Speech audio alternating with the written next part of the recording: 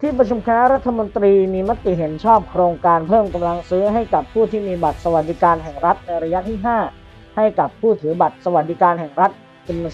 13.34 ล้านคน โดยช่วยเหลือ 200 บาทต่อคนเป็นเวลา 2 เดือน ตั้งแต่วันที่ 1 กันยายน ถึง 31 ตุลาคมนี้ รวม 400 บาท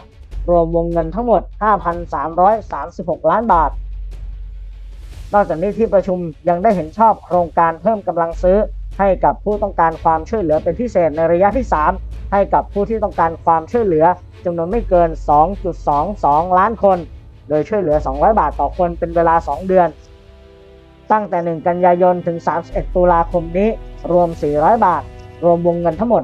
890 ล้านบาท โดยโฆษกประจำสำนักนายกรัฐมนตรีในธนกรวังบุญคงชนะ แถลงรายละเอียดว่าโครงการเพิ่มกำลังซื้อให้กับผู้มีบัตรสวัสดิการแห่งรัฐระยะที่ 5 วงเงิน 5,336.8304 ล้านบาท และโครงการเพิ่มกำลังซื้อให้แก่ผู้ต้องการความช่วยเหลือเป็นพิเศษระยะที่ 3 กรอบวงเงิน 890.8816 ล้านบาท ช่วยเหลือเยียวยาและลดภาระค่าใช้จ่ายให้แก่กลุ่มผู้มีบัตรสวัสดิการแห่งรัฐ และผู้ที่ต้องการความช่วยเหลือเป็นพิเศษ ในช่วงที่ยังมีการแพร่ระบาดของโควิด -19 จำนวน 200 บาทต่อคน ในระยะเวลา 2 เดือน ตั้งแต่ 1 กันยายน ถึง 31 ตุลาคม 2565 รวมทั้งสิ้น 400 บาทต่อคน โดยจะเป็นการช่วยเหลือให้ประชาชนผู้มีรายได้น้อย และผู้ต้องการความช่วยเหลือเป็นพิเศษ สามารถดำรงชีวิตอยู่ได้ในภาวะวิกฤต ในภาวะเศรษฐกิจที่ราคาสินค้าและค่าครองชีพปรับสูงขึ้นขณะนี้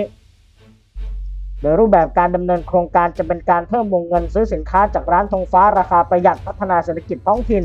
และร้านค้าหรือผู้บริการที่เข้าร่วมโครงการคนละครึ่งระยะที่ 5จำนวน 200 บาทต่อคน เป็นระยะเวลา 2 เดือน รวมทั้งสิ้น 400 บาทต่อคน